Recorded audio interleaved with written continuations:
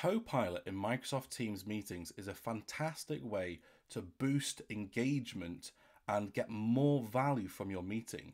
Treating Copilot like an additional party or additional person in the meeting and asking them questions like how to get more out of the meeting, what questions should be asked, what are people most excited or uh, concerned about from the meeting. All of this is going to be really useful for Copilot to be another pair of eyes over your meeting. So let's take a look. So this is again just a rough example. I've already set up a Teams meeting and I've done a little bit of kind of talking to the Teams meeting just as a dummy test run. Essentially, I'm simulating that this is a SharePoint workshop. And what I've done um, is I've basically said, My name's Dougie, I'm the SharePoint consultant. I have with me uh, Jane Smith, uh, I have with me um, Joe Bloggs and their roles, what they're excited about for the project. We talked a bit about the project, but literally, I only talked for about two minutes, something like that, just to try and simulate that this is a test meeting. Now, you will notice that I have my microphone across the top turned off at this point in time because I'm actually trying to record through a different microphone um, to record this particular video. So occasionally it will pop up and say that it can't hear me and things like that because technically the Teams meeting can't. And actually, interestingly, the reason why I do this is because I've done test materials in the past before where Teams has actually overheard me say that this is just a test or it's a dummy run or things like that. And then when I've tried to use Copilot to generate responses, it's factored that in. It's actually it's realised that actually it's a test run and it's put into the the, the, the answer say we know this was just a test run and, and blah blah blah. So I've tried to simulate it as best I can. But let's see what, what, it comes out with. Copilot is pretty smart. So the first thing that I wanted to take a look at, well, I, I should probably say we're going to treat Copilot like it's another member of, of the team in this meeting and ask it for kind of its, its own thoughts uh, on the meeting.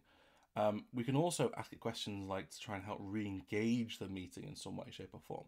Now to spin Copilot up in this meeting, all I need to do is click on Copilot now, what will be the case is it will need to start the transcript uh, to use Copilot. Um, so you need to make sure you click on that start button. And then when it says what language is everyone speaking, we're just going to click on confirm. So remember, we're, we're pretending we're simulating a SharePoint workshop here. So the first question that I'm going to ask Copilot um, is going to be related to gathering requirements in the workshop. Now, bit sort of Blue Peter style here. Here's a prompt that I made earlier. I'm just going to copy and paste that into um, Copilot and ask it. So the question is, what questions have not been asked yet to, to gather requirements about SharePoint? Now, the cool thing that I like about this is actually it's aware of everything that's been said in the meeting so far. Um, we could get this to be even more kind of refined because actually you can tell Copilot and get it into the right frame of mind by saying things like, take the role of an advanced SharePoint consultant and and that might then change its kind of outcome and what it's thinking and, and the types of questions it's asking. But you can see here now it said, based on the meeting content so far, the following questions have not been asked yet to gather requirements about SharePoint. So, what specific functionalities or features do different departments need from SharePoint? Are there any existing systems or tools that need to be integrated with the new SharePoint intranet? In fact, that's a fantastic question. Um, actually, I, I knew he was going to come up with some of these like low level kind of uh, questions about departments and things like that, but actually integrating existing systems, very good question to ask. Um, what are the security and access control requirements for different types of content? So in this dummy workshop, I've not yet talked about permissions or anything like that. So that's essentially what that's referring to. How will the content be managed and updated? Who will be responsible for it? Again, fantastic question there because we do want to know who are going to be our SharePoint site owners, who's going to take responsibility for the content and things like that. What are the performance and scalability requirements for the SharePoint intranet? Um, are there any specific compliance or regulatory uh, requirements? What is the timeline? Again, fantastic question here. What is the timeline for the project? Are there any critical deadlines? So knowing that and making sure working around people's um, holidays and things like that and whatever is really useful. What are the key metrics for success? So again, knowing the kind of being able to calculate the return on investment of why we're even doing this project um, it, it's fundamental to know what the key metrics of success would be. So I'm really happy with those questions. I think they're fantastic questions. As I say, I've only really given a, a rough kind of sample of a meeting essentially inside of Copilot. But those are fantastic questions. Um, and you can see actually here, um, we can do things like asking to recap the meeting so far. We can list action items.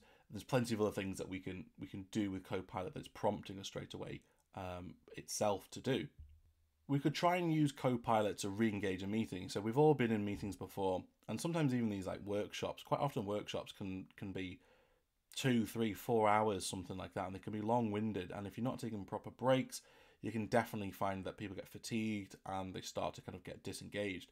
So we could ask Copilot, for example, to um, to ask it, say, what other questions could I ask to re-engage everyone back into the meeting? So there's some more questions that we could maybe ask, maybe pick on some people in the room. Now, as I say before, um, I, have already sort of told sort of the meeting team that the Teams meeting who is in the room with me and their roles and things like that. So it's asked, it's actually given me here to say to re-engage everyone back into the meeting, you could consider asking the following questions. So Jane, could you elaborate on the specific branding elements you want to see in the SharePoint intranet? So there we go. So if Jane was sort of flagging a little bit, falling asleep, I could specifically pick on her and say, Jane, can you tell us more about the branding elements? We've not quite discussed all, all those bits yet. Or Joe, as in Joe Bloggs, the operations manager, can you provide more details on the types of templates you envisage to be the manager's toolbox? So you could sort of drill into those questions a little bit, bit little bit more. Um, what are some potential challenges you foresee with the training and adoption strategy, and how can we address them? Um, how do you think the new video articles from the senior leadership team will impact internal communication? Can we discuss the key features that should be prioritized for the in initial launch of the SharePoint intranet? So, as a SharePoint consultant, I'm often very um, aware that I can be the one that's speaking in, in the meeting or in the room for a long period of time. It could be that I barely took a breath for an hour. But the thing is with that is then you do find that people start getting disengaged and the, the, they're sort of not, not properly in the room. So actually putting it back on to the, the other person to say, okay, now you talk back to me. Here's some questions. You talk back to me. You give me more information We'll re-engage people back into that and you'll get a much better experience from uh, the Teams meeting in general. And then a final example here.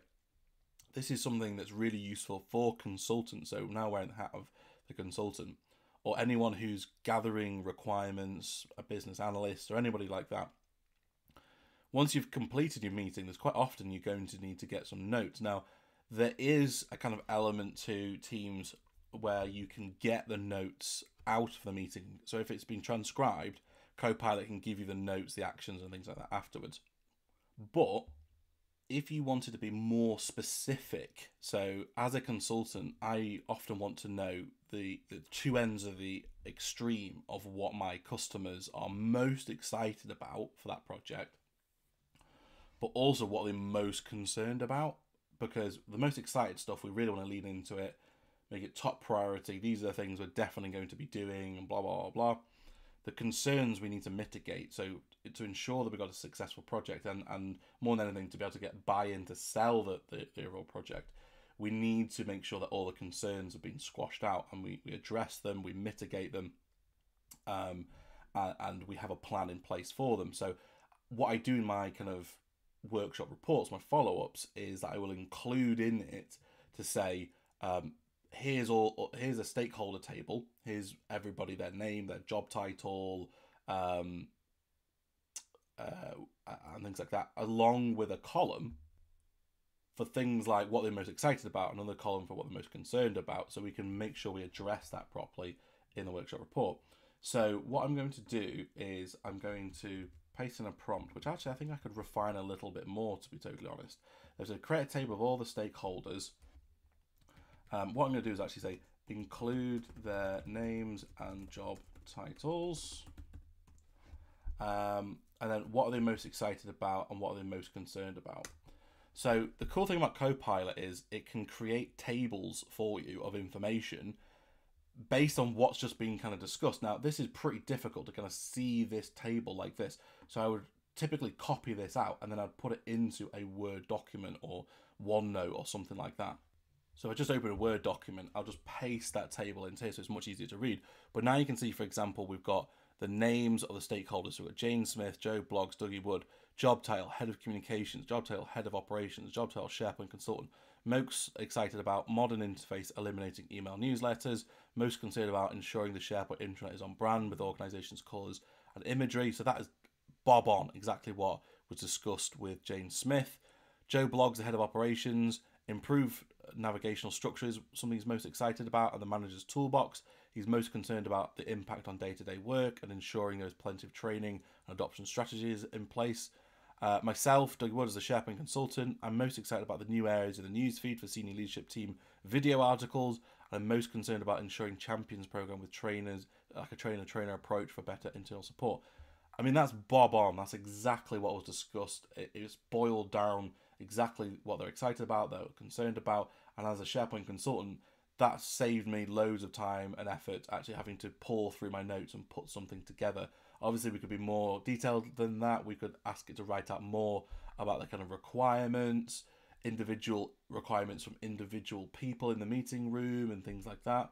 Maybe pull out things which people are um, sort of conflicted about. So one person had one belief, one person had another belief. There's loads of things that you could pull out from this just because we've recorded the transcript um, inside of our, our meeting inside of Microsoft Teams. So I hope you found that really useful um, uh, in terms of the, the, how we can engage people more using Copilot in our Microsoft Teams meeting.